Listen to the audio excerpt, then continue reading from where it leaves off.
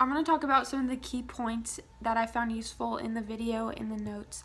The first thing they talked about in the video was having a target and a clear goal or purpose. Um, this is important because your audience needs something to be able to follow. Um, talking about audience, you should know who's in it um, regarding like the cultures, the genders, or the age groups. Um, you should prepare yourself as a speaker before you speak, talking about how long your speech is going to be, what type of speech it's going to be, um, figuring out your key points, if it's going to be two points or a maximum of, of five, um, how you're going to open your speech, whether it's a joke or a personal story.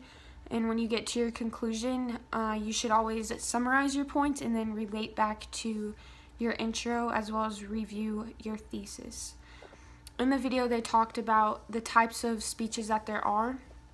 Um, the first thing they talked about was the general purpose, how it helps you narrow the purpose of your speech. And it can be an informing general purpose, which is neutral and objective. It also states facts. Um, a type of informative speech would be a lecture, a safety demo, or a security update. Um, there's also a pers persuasive general purpose speech, um, and the purpose of that would be trying to change or reinforce a value, help people see a problem in a different light, or trying to change their perspective on a certain topic. Um, an example of that would be a sales presentation, a political speech, or a charity ball. And there's also mark a special occasion general purpose speech, which would be drawing attention to an individual or to entertain. So an example of that would be an after dinner speech, a roast, or a eulogy.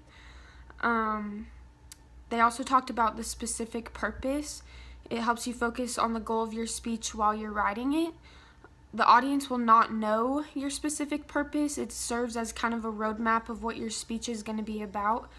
Um, typically, you want to base your specific purpose off of what you want your audience to know at the end of your speech.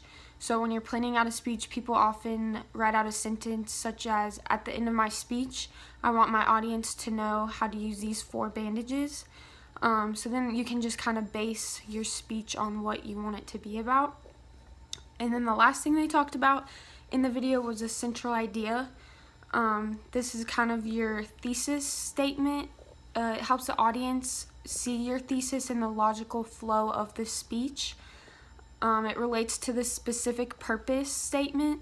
So you want your speech or your thesis to go off of what your specific purpose would be. It's a one sentence summary of the entire speech, so it doesn't need to be a long paragraph or anything. Um, it comes in your intro and it serves as a preview of what you're going to be talking about, the order of what you're going to be talking about, um, and it should be specific, clear, and concise.